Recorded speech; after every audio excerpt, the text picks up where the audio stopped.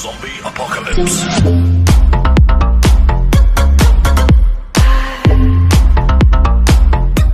Ten, nine, eight, seven, six, five, four, three, two, one.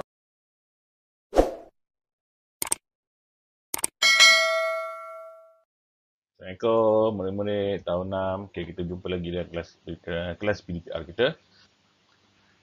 Uh, yang sebelum ni kita dah masuk tajuk sudut. Okay, jadi sebelum ni, lepas ni ialah kita nak pergi penyelesaian masalah uh, tentang um, perimeter. Eh, perimeter. Okay, jadi apa itu perimeter? Perimeter ialah seperti mana yang tahun 5 sebelum ni. Perimeter ialah uh, kira semua. Uh, kira ataupun uh, perimeter lah jumlah uh, keluasan luar bagi sesuatu bentuk. Okey, bagi sesuatu bentuk. Yang luar eh, garisan luar. Ha. Okey, jumlah keluasan bagi garisan luar ni. Okey, yang luar saja yang terlibat. Yang dalam tak perlu. Maksudnya bila perimeter, contohnya macam kita kata, berapakah perimeter bagi satu uh, kotak itu. Jadi kamu kira yang luar. Apa tujuan kita nak kira perimeter? Sebab kita nak tahu kalau macam uh, kotak tu nak balut. Contohnya nak beli pembalut plastik kan. Jadi kita kena tahu ukuran dia. Panjang dia berapa, lebar dia berapa. Jadi kita senang nak beli pembalut nanti. Okay? Maksudnya kalau kita beli pembalut tu dia tak lebih ataupun tidak membazir. Okey. Jadi kita buka cerita di sini. Okey. Tukar kepada laser pointer. Okey. Sekarang dia kata Encik Zahin ingin uh, menghias sekeliling bumbung rumahnya dengan lampu warna-warni seperti rajah yang ditunjukkan. Ni nampak ni. Rumah dia nak, nak susun apa ni? Dia nak hias. Okey, lampu warna-warni lampu hari raya lah. Okey, uh, berapakah panjang lampu warna-warni yang diperlukan? Jika 1 meter lampu berharga RM10.50, berapakah kos lampu tersebut? Okey, jadi dia kata 1 meter. 1 meter lampu adalah uh, RM10.50, berapakah kos lampu tersebut? Jadi cara dia macam mana? Okey, diberi. Diberi ni ialah uh, kalau bah dalam bahasa Melayu dipanggil isi tersurat. Isi tersurat ni maksud uh, uh, isi yang dah ada, maklumat yang dah ada dalam cerita itu. Jadi kita dah tahu diberi ukur ukuran keliling bumbung ni. Ukuran keliling bumbung. Okey. Dan juga kos 1 meter lampu adalah RM10.50. 1 meter lampu adalah RM10. Yang dicari adalah panjang lampu warna-warni. Ha, yang yang soalan dia lah. Soalan dia yang dicari dan juga kos dia. Berapa panjang dia dan juga berapa kos dia. Okey, ada dua lah, dua situ soalan itu operasinya tambah dan juga darab. Kenapa tambah dan juga darab? Yang pertama, kenapa tambah? Sebab perimeter. Okey, saya gariskan ini. Bila perimeter, tak tukar pen. Bila perimeter, kamu kena ingat, operasinya adalah tambah. Sebab dia nak tahu jumlah. Bila saya, saya kata tadi, jumlah keluasan semua ni. Bila jumlah adalah tambah. Okey, jumlah. Ha, sebab tu kita kena guna operasi tambah. Okay. Dan kenapa pula darab?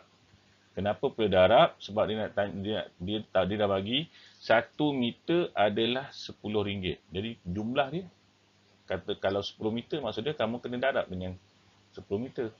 Kalau jum, uh, jumlah keluasan dia tiga puluh meter, kamu kena darab dengan tiga puluh meter. Sebab tu kena darab. Okey? Jadi cara pengiraan dia macam mana? Ingat, perimeter ialah tambah semua sisi luar perimeter saya tarik lagi ialah tambah semua sisi luar atau garis luar atau garis luar yang dalam tak termasuk jadi maksudnya kalau gambar ni yang luar mana ini satu dua tiga empat dan lima dan enam ada enam garis luar sebelum kamu nak selesaikan soalan ni kamu kena kira dulu berapa garis luar dulu Ha, kira dulu berapa kali luar, kemudian baru kita masukkan, nampak ni. Jadi yang ada, yang tak ada kat sini. Ni tak ada. Okey, kenapa sini dah ada? Okey, tengok ni. Kenapa sini 3.9, 3.9? Sebab apa? Sebab ini sama panjang. Dan, pan, okay, ini sama panjang dan ini juga sama panjang. Okey. Jadi ini sedang 39, kemudian dapat ini 3.1. Okey, sebelah sini. Kenapa dia dapat, okey. Nampak ni, panjang dia ni adalah 4.7. Jadi panjang sini ke sini adalah 4.7. Tetapi sini dia tak bagi dan sini dia tak bagi. Jadi macam mana kita nak tahu? Macam mana kita nak tahu panjang dia berapa? Okey, kita kena tahu, okey, ini berapa? Ini berapa? Jadi dia ambil terus 4.7 di sini. Kenapa dia ambil 4.7? Sebab uh, panjang dalam sini adalah 47. Jadi sama je. Jadi kita ambil terus 47. Kita tak perlu nak kira sini lah. Kita terus ambil 47. Jadi dia tambah semua. Dia tambah semua dia akan dapat 23.4 meter. Kemudian okey itu satu tambah. Darab sebab kos 1 meter RM10.50. Jadi 23.4 darab RM10.50 kamu akan dapat jumlah kos dia adalah jadi dua soalan. Ini panjang dia, ini kos dia. Okey. Ha, itu situasi yang pertama. Okey, situasi yang kedua. Kita tengok situasi yang kedua. Melin menyusun beberapa kad seperti yang ditunjukkan dalam yang ditunjukkan untuk membentuk corak yang menarik. Semua bentuk segitiga adalah sama saiz. Jika dia menyusun bentuk-bentuk itu menjadi corak, satu dan corak dua, kira perimeter luas setiap corak, berapakah beza perimeter dan luas antara kedua-dua corak itu. Okey, jadi dia tak ni dia tak buat cara diberi di, uh, diberi dicari semua tu. Dia terus kepada penyelesaian dia. Corak yang pertama sebab dia nak kira corak. Dia kata sini. Uh, semua bentuk segitiga adalah sama saiz. Nampak ni. Bila dia corak sini, semua bentuk segitiga adalah sama saiz. Okay, sekarang ni nak susun uh, jadi corak satu dan corak dua semua bentuk segitiga adalah sama saiz. Jadi saiz dia adalah 5 cm, ini 4 cm, ini 3 cm. Okey. Uh, tinggi dia 5 cm, tapak dia uh, 5 cm, tapak dia 3 cm dan dia punya cerun dia adalah 5 cm. Itu dia punya dia punya ukuran dia lah. Okey. Sekarang ni tengok corak yang pertama. Okey, disusun untuk corak yang pertama. Jadi kita kena kira perimeter dia berapa lima, lima, lima, lima. Senang ni. Lima, lima, lima. Sebab dia perimeter dia kira luar saja. Okay. Dia tak kira yang dalam. Jadi lima tambah lima tambah lima tambah lima tambah lima dapat kamu akan dapat 20 cm. Luas luas ni tajuk luas dah. Tapi tak apalah. Maksudnya luas uh, panjang dan lebar. Okay. Panjang dan lebar kamu akan dapat 25 cm. Okey, untuk corak B. Okey, corak yang kedua ni lain sikit. Okey, ha, corak yang kedua lain sikit. Jadi kamu kena kira. Okey. Uh, yang ni kamu tahu. Okey. Nampak sini. Ini panjang dia yang lima ke bawah ni tau. Okey. Yang lima ke bawah ni. Okey. Lima yang ni. Nampak ni. Lima yang ni. Okay, ini semua lima. Sekarang ni. Bila yang ni dia empat dengan tiga. Nampak? Empat dengan tiga. Jadi empat dengan tiga, empat tiga. Tambah semua sekali. Jadi tujuh tambah tujuh tambah tujuh. Tambah lapan. Itu saja. Okey. Beza dia ingat perimeter kira luas saja. Dia, dia nampak dia masih susah tapi kalau kamu lukis, kamu tulis balik, dia untuk nak selesaikan perimeter luas dan isi padu ni, cara dia adalah kamu kena lukis semula. Dan kamu tulis balik bentuk dia. Okey? Okey, seterusnya. Okey, kita pergi kepada situasi yang seterusnya. Okey, kita tengok-tengok sini cerita dia tentang apa. Okey, lantai sebuah pejabat hendak dipasang dengan kapet seperti yang ditunjukkan pada bahagian belorit di rajah sebelah. Ni dia, eh. dia. Kawasan berkapet ialah 80% daripada keluasan lantai pejabat. Ni kawasan berkapet yang warna merah ni 80%. Okey. Soalan dia, kira luas kawasan tidak berkapet. Okey, kemudian anggarkan panjang kayu sekeliling uh, seketing untuk pemasangan kapet itu. Masa dia nak tahu kayu ni, nak pasang kayu. Okay, jadi ada dua soalan. Yang pertama dia kata kira luas kawasan yang tidak berkapet dulu. Okay, jadi macam mana pengiraan dia? Kita tengok sini. Ya. Okay, dia kata sini, sebelum tu maklumat penting dia, dia kata panjang lantai ialah 12 meter. Okay, lebar lantai ialah 10 meter. Okay. Kemudian uh, kawasan berkapet ialah 80% daripada luas lantai. Ini maklumat penting yang dalam cerita itu. Okey, sekarang ni kita keluarkan maklumat penting. Sebelum kita nak tahu uh, kawasan yang tidak berkapet ni, kita kena tahu luas keseluruhan dulu berapa. Jadi sebab tu dia darab. 12 meter darab 10 meter dapat 120 meter. Okey, kamu darabkan semua sekali ni. Okey, kemudian uh, baru dia nak tahu uh, kawasan berkapet tu berapa luas dia. Okey, jadi cara dia ialah 80 80 per 100. Okey, dari mana datang 80 per 100 ini daripada sini. Okey, daripada 80% ini jadi 80 per 100 darabkan dengan 120 dia akan dapat jawapan adalah 96. Jadi luas kawasan ini adalah luas kawasan yang berkapet ya. 96 ni luas kawasan yang warna merah ni. Sekarang kita nak cari yang putih. Jadi yang merah tolak yang putih. Eh sorry. Yang uh, merah tolak uh, yang keseluruhan ni, keseluruhan ni okey, tolak yang merah. Okey, jadi kamu akan dapat 24 meter. Okey, cara lain, cara lain ialah kita boleh guna macam ni ya. Uh, kita dah tahu bahawa uh, luas yang merah ini adalah 80%. Jadi kita nak tahu yang putih ni berapa peratus. Jadi cara dia macam mana? Luas keseluruhan ini, okey, keseluruhan ni lantai ni adalah 100 peratus. Jadi kita tolak dulu. 100 peratus tolak 80 peratus kita akan dapat baki dia adalah 20 peratus. 20 peratus ini adalah lantai yang tidak ada? Kapet. Ini dah peratus. Jadi kita nak tukarkan dia dalam bentuk luas, dalam bentuk meter. Jadi macam mana nak buat? 20 per 100 darabkan dengan 120. 120 ni apa? 120 ni adalah luas lantai semuanya. Termasuk yang berkapet dan tidak berkapet. Jadi bila kita potong, kita akan dapat okay, 2 darab 12, kita akan dapat 24 meter persegi. Jadi jawapan dia sama. Okay, 24 meter persegi. Okey, yang ni, ni anggarkan saya tak masuklah. Anggarkan ni segera anggarkan sajalah. Kamu kena bayangkan. Jadi dia banyak jawapan dia. Macam ni dia kata kemungkinan panjang dan lebar kawasan tidak berkapet Okey. Kemungkinan dia kata kemungkinan. Dia kita andaikan. Okey, yang tidak berkapet ini yang tak yang tak berkapet ni, okey, jadi nak tahu kayu keliling dia.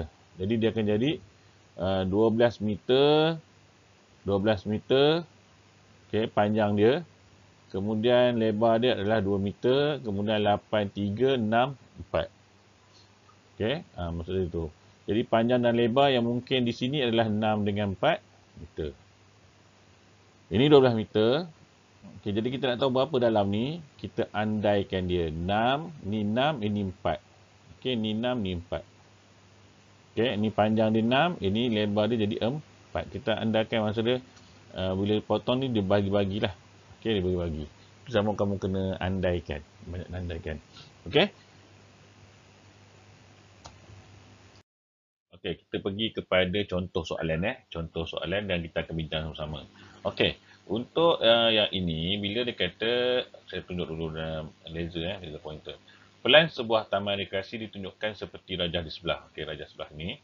Sebuah trek berjogging ABCD. ABCD akan dibina di sekeliling kawasan itu. Panjang BC, BC okay, adalah 2 per 3 daripada AB.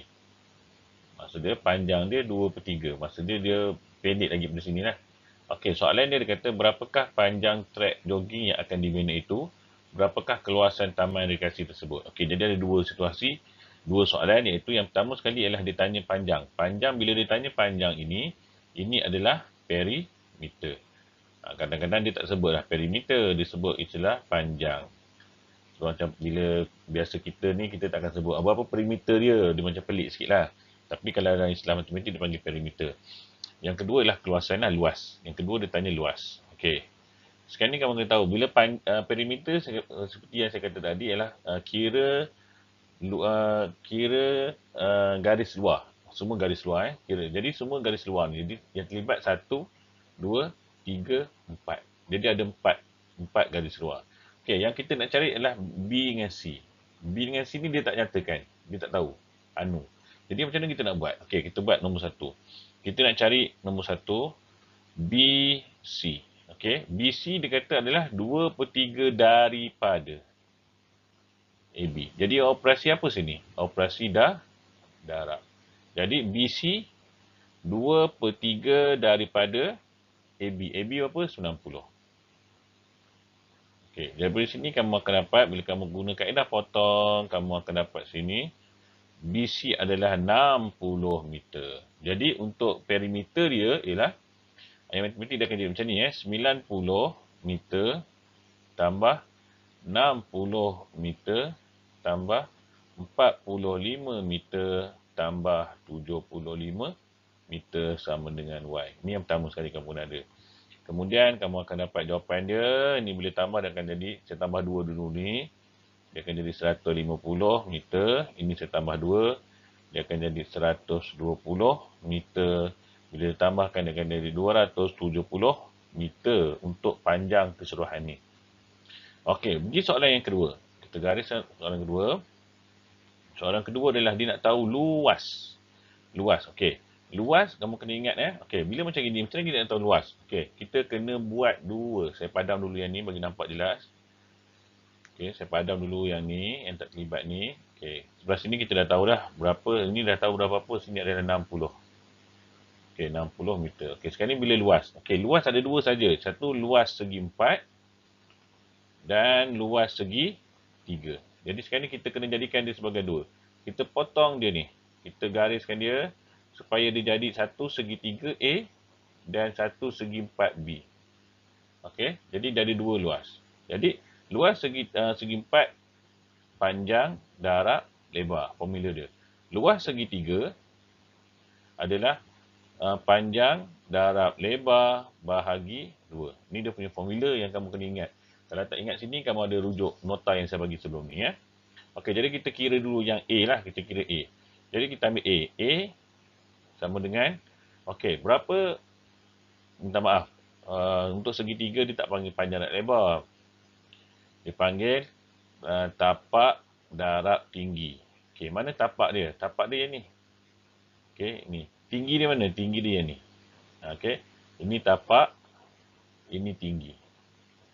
Okey jadi yang dalam ni tinggi. Jadi kita tahu tapak dia berapa okey macam mana kita nak tahu tapak dia Okey, sekarang ni kita tengok sini. Ini adalah 45. Okey, jadi bila ini 90, okey, kita nak tahu ini 90 maksudnya ini dengan ini adalah sama panjang. Sebab ini 90 darjah. Ha, 90 darjah dia maksud ini, ini sama panjang. Bila sama panjang, kalau ini 45, yang ini pun mesti 45.